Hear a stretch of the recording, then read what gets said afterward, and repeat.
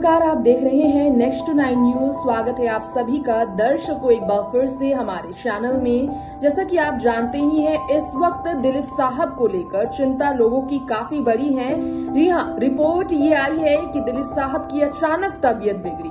जो pneumonia patient रह चुके हैं, जिन्हें पहले भी सर्जरी की करानी पड़ी थी। कभी इंटेस्टाइन के इश्यूज़ से जूझ चुके हैं दिलीप साहब। तो कभी पहले लंग इन्फेक्शन से जूझ चुके हैं दिलीप साहब। एक बार फिर से सांस लेने में उन्हें दिक्कत हुई, जिसके कारण सीधा उन्हें हॉस्पिटल में भर्ती किया गया है। तो दिलीप साहब को किस हॉस्पिटल में भर्ती किया गया है? आखिर क्या ऐसी कारण थी, जिसकी वजह से उन्हें सीधा हॉस्पिटल रवाना होना पड़ा? पत्नी सायरा बानो दिलीप साहब की सेहत को लेकर क्या कह रही हैं? अंठानवे वर्षीय दिलीप साहब कोविड की इस क्राइसिस में क्यों हॉस्पिटल में भर्ती होने पर मजबूर हुए? उनकी ये जो हालत है, इस पर पूरी रिपोर्ट हम आपको देंगे। पिछले काफ़ी समय से दिलीप साहब काफ़ी ज़्यादा बीमार रहे हैं। उस पर क्या कहना है? फ़िलहाल आई खबरों का और उनकी दिलीप साहब की पत्नी सायरा बानो का सेहत को लेकर चलिए जानते हैं हमारे खास रिपोर्ट के ज़रिए। वेटेरियन एक्टर दिलीप साहब की अचानक बिगड़ी तबीयत को लेकर खबर आई है, जो हम आपको देना चाहेंगे हमारी इस रिपोर्ट में बताना चाहेंगे। वेटेरियन एक्टर दिलीप साहब की सेहत को लेकर जो खबर है, काफ़ी ज़्यादा चिंताजनक है। जी हाँ अंठानवे साल के हैं दिलीप साहब और दिलीप साहब की सेहत को लेकर खबर आई है कि उन्हें फिर से हॉस्पिटल में भर्ती किया गया है, क्योंकि हालत उनकी अचानक से नाजुक हुई है। जी हाँ लॉन्ग प्रोलॉन्ग डिज़ीज़ से जूझ रहे हैं दिलीप साहब, जिन्होंने कई बार सर्जरी कराई। कभी उन्हें निमोनिया की वजह से कमज़ोर होने पर हॉस्पिटलाइज होना पड़ा था। कोविड की वजह से उन्हें सिक्योर रखा गया था। कुछ टाइम पहले भी दिलीप साहब को रूटीन चेकअप के लिए हॉस्पिटल में भर्ती कराया गया था। सोशल मीडिया पर दिलीप साहब अपनी सेहत को लेकर अक्सर ही जानकारी देते हैं।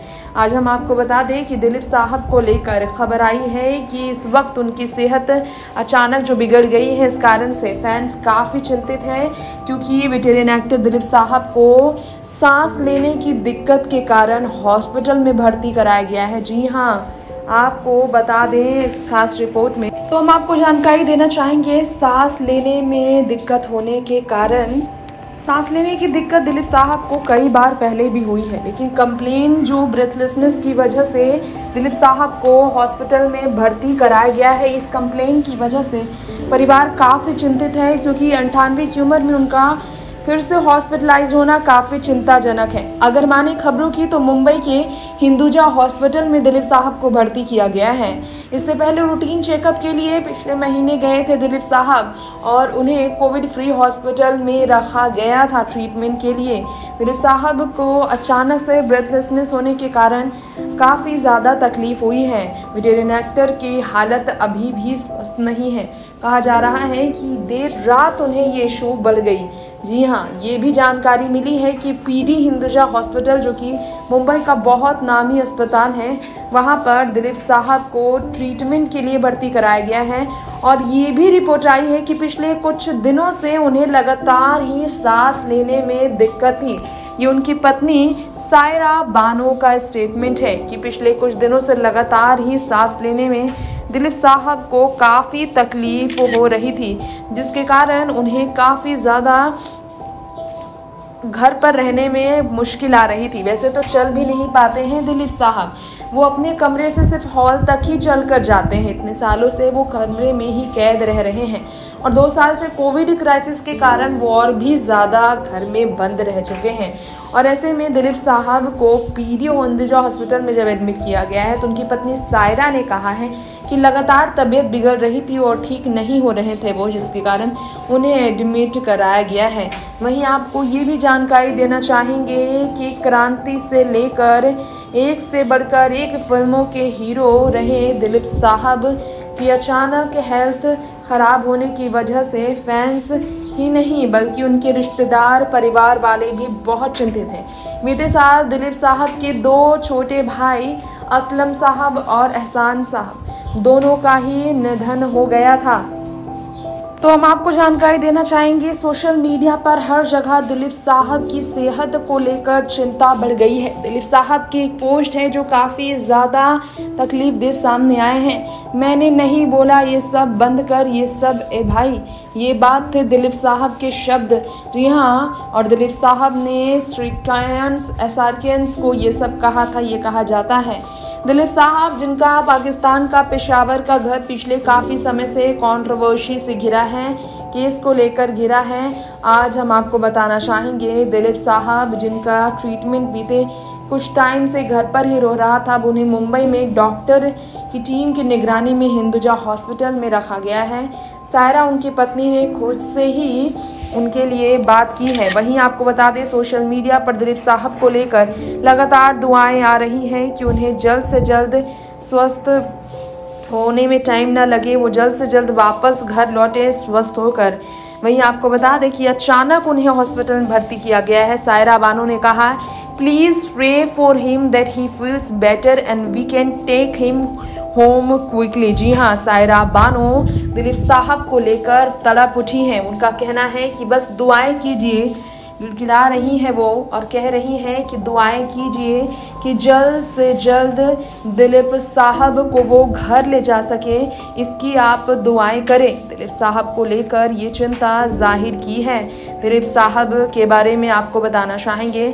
हमारे इस खास रिपोर्ट में बहुत ही ज़्यादा चिंताजनक खबर ये भी है कि दिलीप साहब जो हैं बहुत ही ज़्यादा परेशान रहे हैं। और ऐसे में, इस उम्र में उनका हर चीज़ का ट्रीटमेंट कराना आसान नहीं है। तो चलिए हम आपको हमारी इस रिपोर्ट में ये भी बता दें कि वाकई में दिलीप साहब को लेकर सायरा क्यों चिंतित है? क्योंकि उनका इम्यून सिस्टम बहुत ही ज़्यादा वीक रहा है। उन्होंने कुछ सर्जरी भी कराई है कुछ टाइम पहले। जी हाँ उन्हें फ़ूड पाइप के ज़रिए खाना दिया जा रहा था। जब तीन साल पहले उनका ट्रीटमेंट चला था। हॉस्पिटल में और वो काफ़ी ज़्यादा तकलीफ़ में रहे थे। वहीं आपको ये भी जानकारी हम देना चाहेंगे हमारे इस खास रिपोर्ट में दिलीप साहब को लेकर कि चिंता इस वक्त लोगों को इसलिए भी सता रही है क्योंकि सांस लेने की दिक्कत के कारण उन्हें हॉस्पिटल में तो भर्ती किया गया है, लेकिन अभी तक पूरी तरह से वो ठीक नहीं हुए हैं। और डॉक्टर उन्हें वापस घर भेजने की इजाज़त अभी तक नहीं दे पाए हैं, जिस कारण परिवार बहुत चिंतित है, खासकर दिलीप साहब की पत्नी सायरा बानो, क्योंकि दिलीप साहब को सांस लेने में दिक्कत पहले इस तरह नहीं हुई है। और बार बार उन्हें अगर ये दिक्कत आती है तो उन्हें दिक्कत होगी, क्योंकि उन्हें आईसीयू में रखा जा सकता है। लेकिन अभी तक रिपोर्ट ये आई है कि उन्हें नॉर्मल ही रखा गया है। आईसीयू वार्ड में वो शिफ्ट हुए हैं या नहीं, इसकी अब तक कंफर्मेशन सायरा बानो ने नहीं दी है। नेक्स्ट नाइन न्यूज़ से तृप्ति की रिपोर्ट तो दोस्तों, ये था हमारा आज का स्पेशल प्रोग्राम दिलीप साहब को लेकर। जी हाँ हमने आपको हमारे खास रिपोर्ट में दिलीप साहब के बारे में बताया, उनकी सेहत के बारे में जानकारी दी है। तो वहीं अब वक्त हो चला है आपसे बॉलीवुड अपडेट के साथ यही इजाज़त लेने का। अगली बार फिर लौटेंगे आपके बीच बॉलीवुड इंडस्ट्री की टॉप ट्रेंडी लेटेस्ट वायरल खबर लेकर। तब तक के लिए एंटरटेनमेंट की दुनिया के साथ आप बने रहें और ऐसी ही हर अपडेट के लिए जुड़े रहें और अपने favourite tragedy king first Khan, यानी कि दिलीप साहब को दुआएँ भेजे, संदेश भेजे, उनकी पसंदीदा फ़िल्मों से जुड़ी आपकी जो यादें हैं, वो हमारे बीच साझा ज़रूर करें। लेंगे आपसे इजाज़त, देखते रहे नेक्स्ट नाइन न्यूज़ नमस्कार।